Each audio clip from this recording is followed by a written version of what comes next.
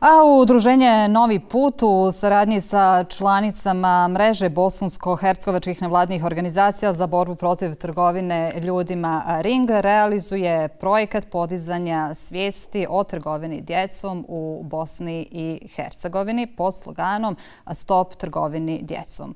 Evo ovog trenutka nas čeka gospođa Bida Pehić, predsjednica udruženja Novi put. Gospođo Pehić, dobar dan i dobrodošli u BHT1 uživo. Hvala, bolje vas našla i veliko hvala na pozivu za gostovanje na vašoj televiziji. Evo u planu je ova kampanja pod sloganom Stop trgovini e, djecom. Određene informacije pokazuju da se trenutno u svijetu ima 1,2 miliona djece žrtava trgovine ljudima i koji se iskorištavaju protiv svoje volje. Zaista frapantni podaci, gospođo Peklić. Da, nažalost jeste. A, evo, vjerovatno znate da je u Bosni i Hercegovini prošle godine identifikovano 70 potencijalnih žrtava trgovine ljudima. Od toga je njih 35, e, odnosno polovina, bilo maloljetno, što je zaista jedan zabrinjavajući podatak za jednu ovako malu zemlju kao što je Bosna i Hercegovina. Šta je cilj, Šta je cilj ove kompanije, gospođo Pehlić?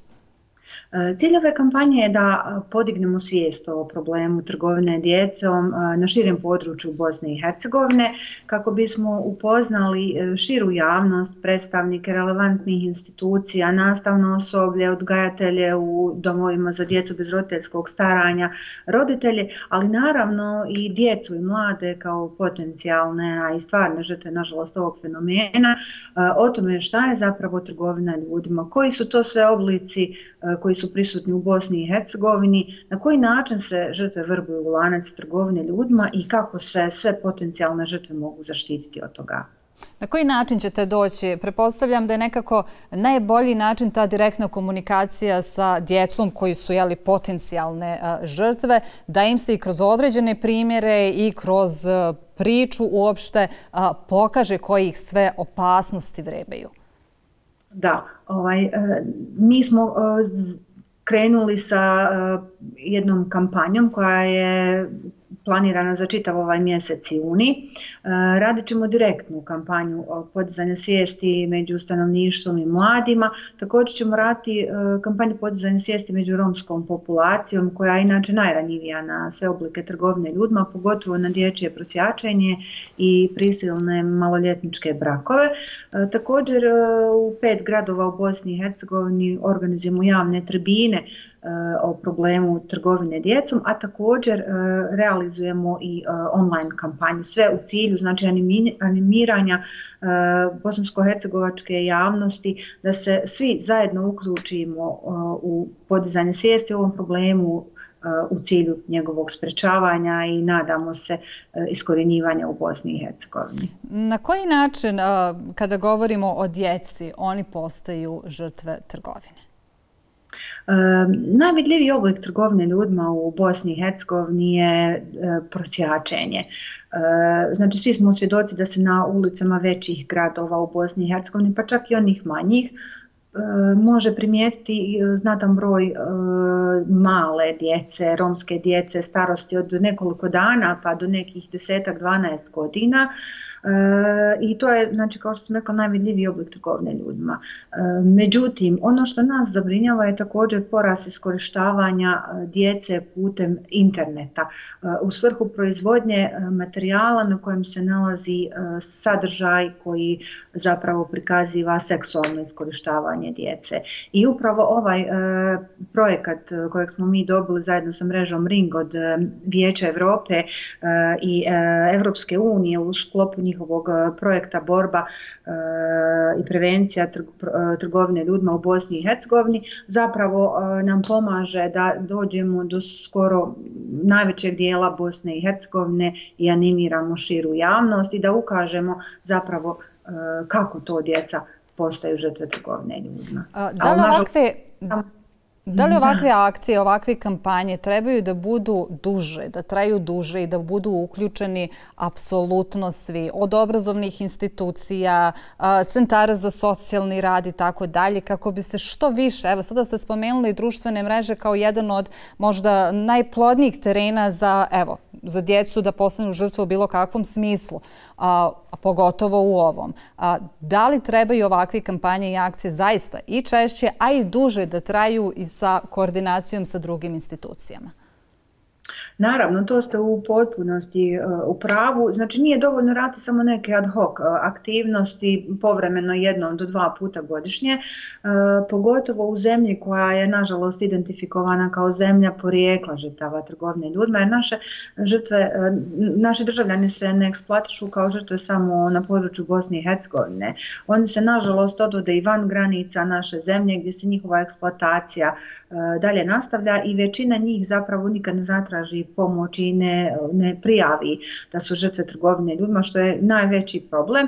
I nažalost ono što smo mi ispoznali kroz dugogodišnji rad na ovom problemu jeste uh, taj da jedna žrtva uh, E, će e, uvući u taj lanac trgovine ljudima više osoba, bilo kako bi sebe spasila, e, time što će dovesti zamjenu, bilo što je ucjenjivana raznim eksplicitnim fotografijama ili video uracima ili je čak i prisiljena na konzumiranje narkotika. I to je tako To je znači jedan kompleksan problem jer ne smijemo zaboraviti da trgovina ljudima dolaz, donosi drugu e, najveću e, ilegalnu dobit e, odmah nakon trgovine e, narkoticima. Znači preuzela je primat na trgovinom oružjem zato što vi jedno ljudsko biće možete neograničeni period Eh, eksploatisati, ne morate kupovati. Znači često te žrtve zapravo eh, same upadaju u lanac trgovine ljudima i žrtvu trgovine ljudima jako teško identifikovati. Pogotovo ako je žrtva zastrašena, eh, ucijenjena, znači čak i ako postoje ti neki indikatori koji ukazuju da je osoba žrtva trgovine ljudima,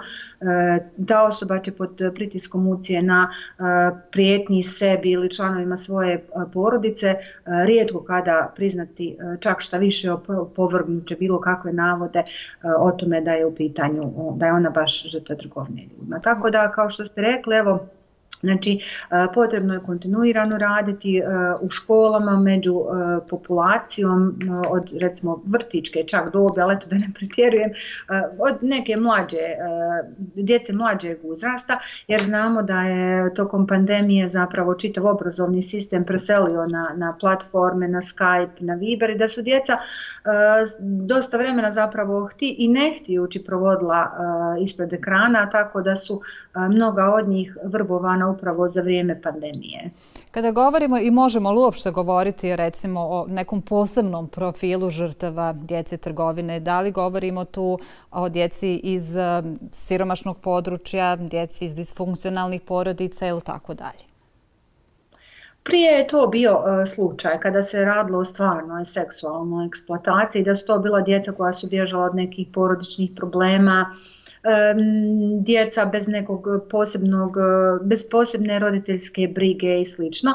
Međutim, nažalost, e, kada je u pitanju iskorištavanje putem interneta, tu niti jedno dijete e, se ne može izdvojiti kao posebno ranjivo, odnosno dijete koje nije ranjivo. Znači, ono što je bitno je upozoriti dijete na postojanje e, iskorištavanja putem interneta. Kada mi razgovaramo sa djecom tokom naših preventivno-edukativnih radionica, mi kada ih pitamo da li vas e, roditelji upozoravaju da ne komunicirate sa nepoznatim osobama, e, oni, znači 99% njih izjavi da, da, e, uvijek nas upozoravaju da niski ne smijemo sjesti u auto, da niko pod nas ne smije doći u školu osim članova naše uže porodice ili ako je mama ili tata najavio e, da će danas e, neko doći po nas.